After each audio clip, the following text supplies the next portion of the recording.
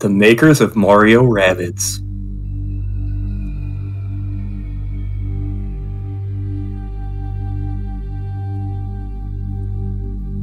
For a minute I thought that was an avocado.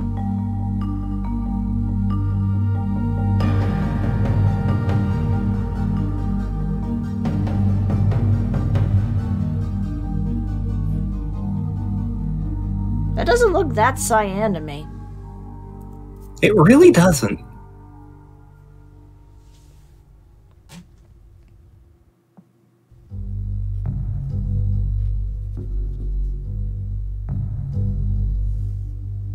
Thank God you've returned. Do you have I need tacos? your help.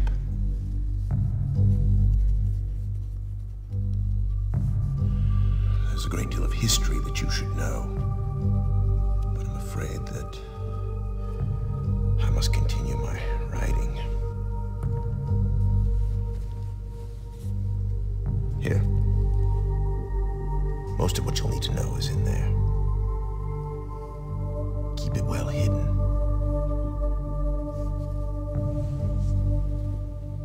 I'll put it in my back pocket. For reasons you'll discover, I can't send you to Riven with a way out. But I can give you this. It appears to be a linking book back here to D'ni. But it's actually a one-man prison.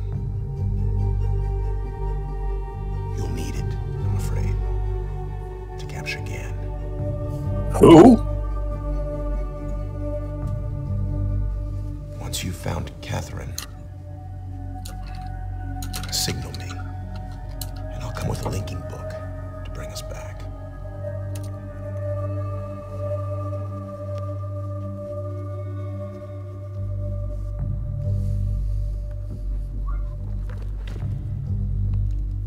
That is a big book.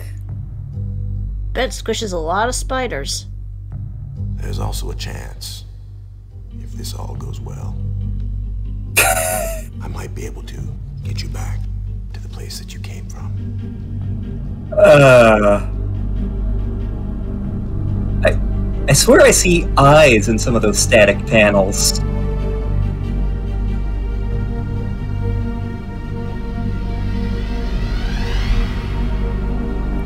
Also, quite a literal title drop. Well, the we're in prison, Lantern and Suraht. Well, Wait a minute. I was just reading a book. How did I get here? Just lucky, I guess. Oh god damn it, it's one of those books.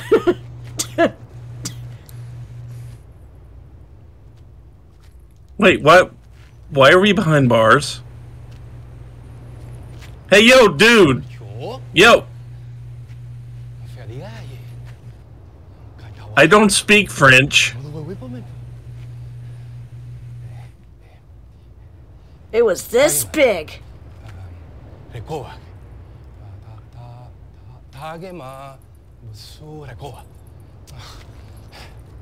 Misirapo, misirapo.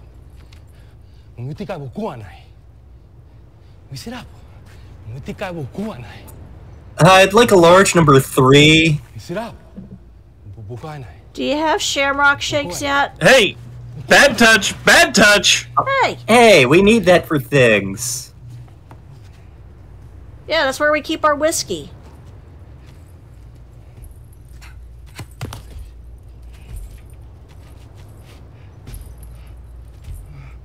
You okay there, dude? I, I don't think he's okay.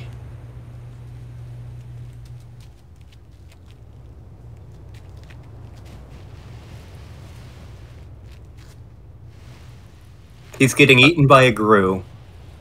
In the? Wrong series.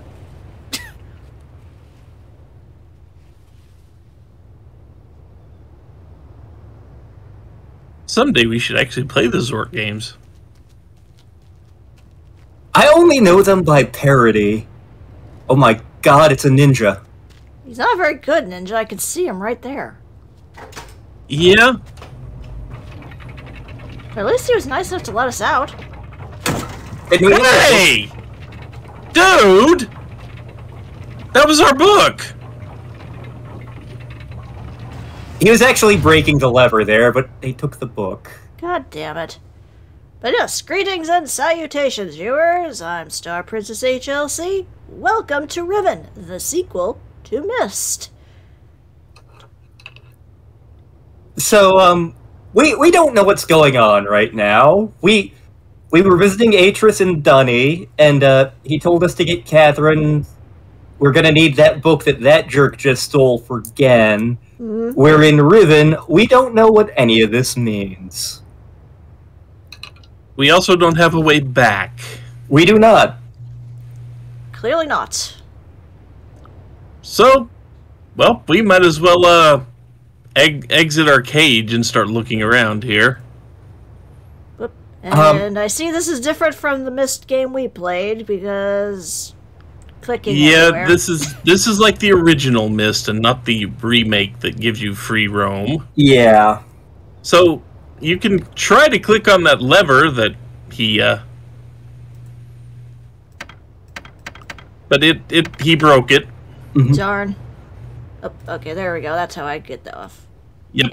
You can also in certain places move towards the top to look up and the bottom to look down. So that that's that's the extent of it. And if you want to go somewhere straight, you just click on that point. Okay. Also, And if you you- can click on that book he gave us to get a bunch of writing. Oh, yep. Look at all that writing. There's a lot, and this, if you take the time to read through this, we you can get the basic plot of what you need to do. Mm-hmm. Which So you go ahead with this. So the lore dump. Basically, where we are is the Age of Riven, also known as Age Number Five. This was an age that was linked to by Gehn, Atrus's father. Um, when the D'ni civilization fell, Gehn was not particularly far along in schooling, so he's not great at writing books to ages. Gehn strongly believes that the D'ni actually create worlds as opposed to linking to them. And so Gehn views himself as a god. Years ago, Atrus and Gehn were in a big conflict, and Atrus basically managed to escape from Riven and trap Gehn here with no ways of getting out. However, shortly before the before the game of Myst happened, um, son, Sirrus and Achenar, managed to get Atrus trapped, and they convinced uh, Catherine to come here because they were like, "Oh no, Gehn's gonna escape."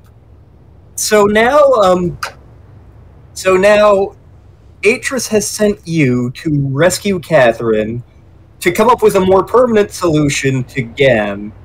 And um, you have to do this before the age collapses, because it's in danger of doing so because the book is that badly written. You may have noticed that the book he was writing in was massive. hmm Um, that is because there are two different types of linking books. There's just the regular linking book, which is kind of like the one he handed us. And then there's the descriptive one, which is kind of the core book. If something bad happens to the core book, all of the linking books crap out. And uh, so Atrus has to basically stay there and keep working in, for lack of a better term, software patches to try to keep the Age of Riven intact while you go and do the heroic thing. Okay. Okay, did I miss anything? I, I think that covers it. So go back to the ice cream cone there, Okay. and you looked at pretty much everything, but there's a button on the right side there. Yep. It doesn't work either. But notice there are pipes leading to this thing. Yeah. Uh, looks like It looks like it kind of disappears into that mountain, doesn't it? yeah. Okay. Keep that in mind. Okay. And So- now you're going to go the only. Now you can only really have one path you can follow here. So, um, the ice cream cone we were looking at is actually a telescope. But no But one it- knows that yet. I mean, I kind True. of guessed that by the way it lo- why I was able to look through Yeah. it, but So turn back a second Okay. and don't go across the bridge, but go into the room on the right, Okay. or at least look through it. Okay, there's a moon, a beetle, and another moon, looks like. They're all beetles. Okay. And you can walk actually up to yeah if you walk up to the pillar you can pull the little string on the bottom. And then click the click the uh, dark circle there Oh, there's a picture inside. yep Boop. this means absolutely nothing to you right now it may mean something later Okay. but each of these beetles has a different picture inside of it Okay. now there's also a bunch of nondescript writing Mhm. but do you see something funny in the middle of all that writing There looks like to be a dot. Yeah, it is kind of. Just that keep that in mind for a few minutes from now. Okay. So, but you notice there are two doors in this room. Mm-hmm. Right now, one leads to a closed off grate, and the other leads to where you came from. Yep. Okay, so leave this room and then turn around. Okay. Go one step forward, There's a button big here. button. Push the button. a friend of mine, this is the thing they remember most from the game. And welcome to the first puzzle of the game. This is known as the gate room. Mm-hmm. So, I see you. uh huh. You notice that the door had the other door has also changed positions. Yes. It was over to the left one slot, now it's over to the right. Uh-huh. So what does that tell you? That it's open somewhere else. This entire room's revolving. Ah. It's not just what's in front of the door. The entire room's revolving. You have two fixed doors. Okay. Yep. Push the button again.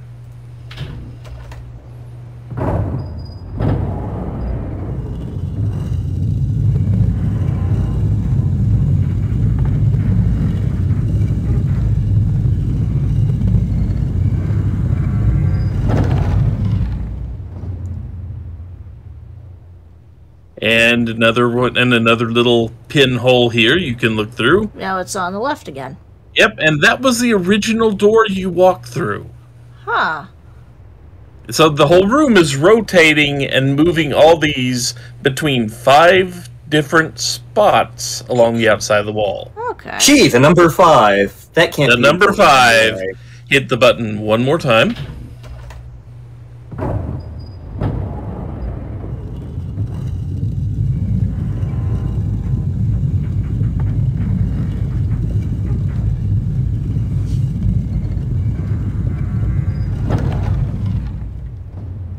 And now the.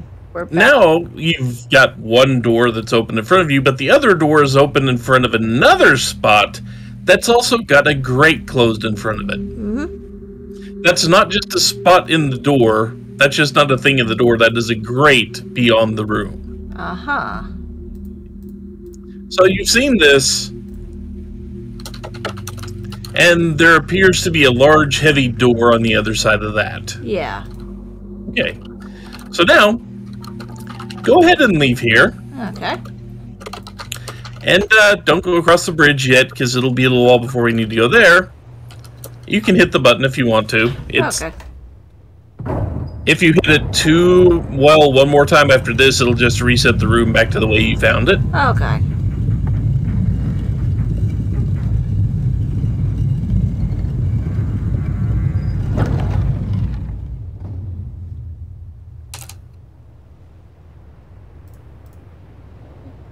Yeah, this time you don't see any of the, the Yep, door. because the other one is just out of your range of vision.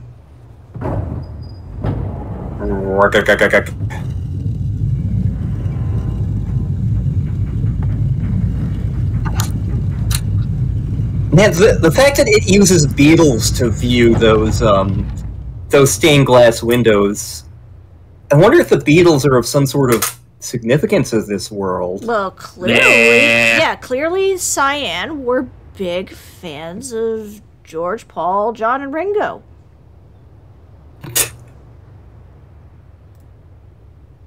Okay, so now you I mean you can go across the bridge, but there's not much you're going to be able to do over there that you care about. Mm-hmm. Or at least there are things you can do, but you want to do things around here first. Okay. Yes. Because you don't want to have to come back here any more than necessary. So yeah. This is this is one of the funniest things in the game. So yeah, you can't the the lock is there, you don't have a key for it. Mm-hmm. Click under the gate. Oh, hello. We we can't take the knife. You Oh. We can't can take the go under knives. the They're- They are everywhere, but you can go under the gate. They locked it, but didn't do a very good job. Good job. Also, Okay. notice, Here we go. There's yep, one of you have doors. another, you have another entrance to that room from over here. Okay. So now, I'm, I'm going to guess you know what you need to do now. Yep, now I gotta set this thing up. Mm-hmm. And also notice that when you click to turn left or right, it doesn't turn you 90 degrees. Nope. It turns you towards a relevant scene. Yeah. Yeah. So if you're going up or down stairs and there's nothing to look at on the side, clicking to the left or right will make you turn around 180. Mm-hmm. So just be prepared for that. Okay. I think I gotta turn it one more, two more times, I think. One more time. Okay. So you may have noticed well, when we were starting in Riven that there were these giant dagger-like structures. That was actually part of Atrus's original escape plan. Basically, he wanted a giant distraction, so he messed with the Riven, uh, the Riven descriptive book to make giant daggers fall from the heavens, so he could attempt to make his escape. And actually, the location where he made his escape is right under the giant ice cream cone. Mm-hmm. Oh, okay, I'm in here again. Okay. So go ahead and look around. It looks the exact same. yeah.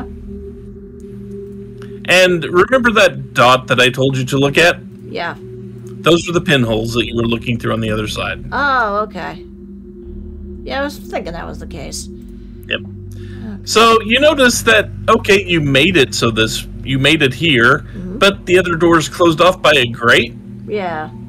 Well, knowing what you know about the room now, what do you do?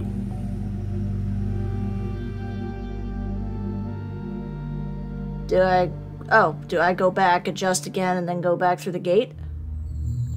Yep, you need to line up the other door with this entrance. Okay. Which should be what? Two, turns. more. Two turns. Two turns. Okay.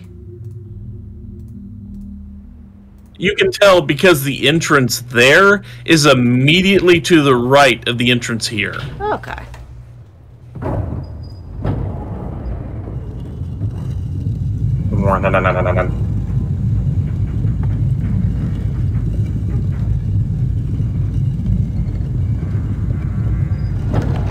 And you see that door over there? Mm-hmm. That'll come across to the other entrance, which you push the button again. Okay.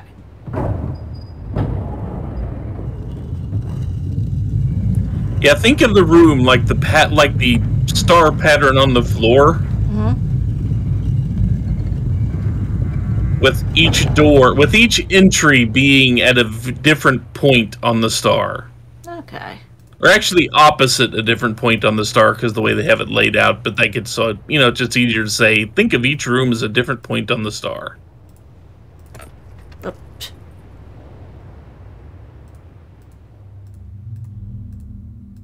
Okay. Now we can go through here.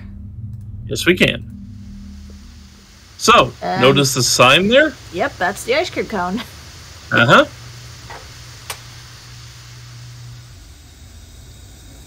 Definitely hear something Russian. Uh huh. Okay, so that's a thing. You didn't have to do that now, but you might as well have gone ahead and done it. Yeah. because you won't have to come back here later. Okay. Yep. Now, don't charge all the way into the room yet. Go back one step. Okay. Oh, there's another button. Although, don't mess with that button yet. Mm-hmm. Uh, turn turn around and look at the door. Yeah. Oh, there's a lever. There's a lever. Pull the lever. Well, I definitely heard something. Mm-hmm. So now,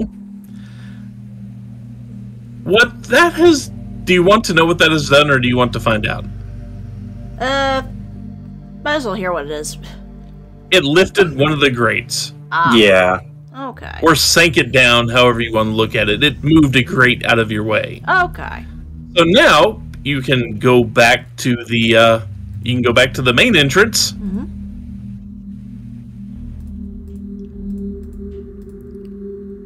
Okay, I just Other that other one. door. Yeah. No, not that Oh, one. That one. That one. Just, I just really like that pipe. See that door over on the right? yep. There you go. Oh, hello. There it is. Whoops. I, I, Yep, ju- I just they- really like touching that gate.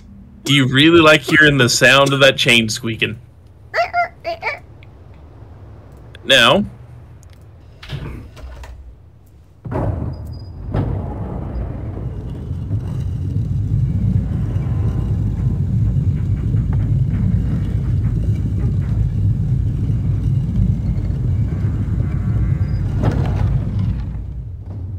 okay, go in and see if that has opened up the that particular grate. No. Okay, nope, it has not. So,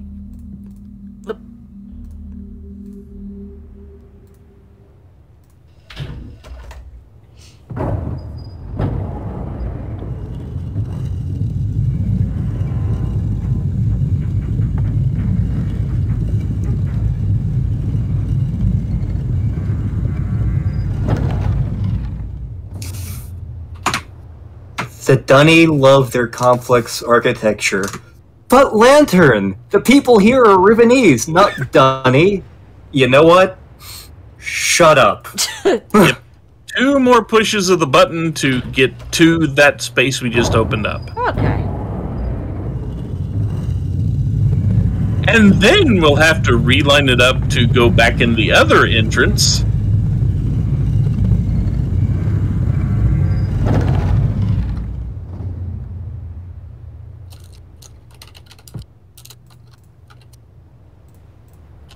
One more. Yep.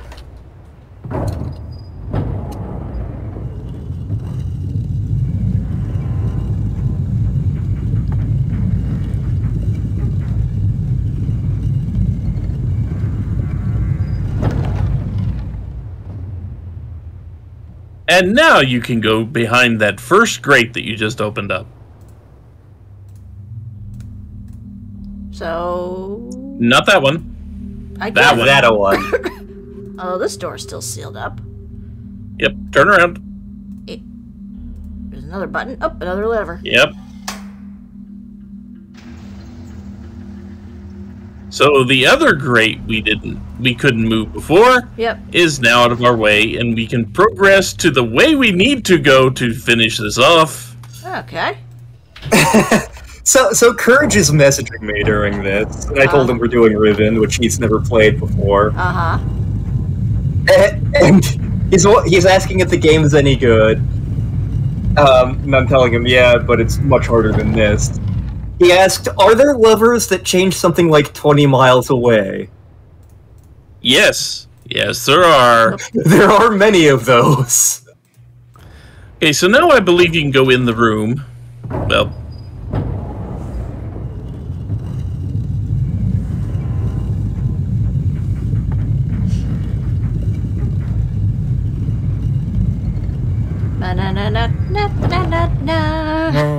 yep, there you go. Now you should be able to just walk through that door over there. Looks like it.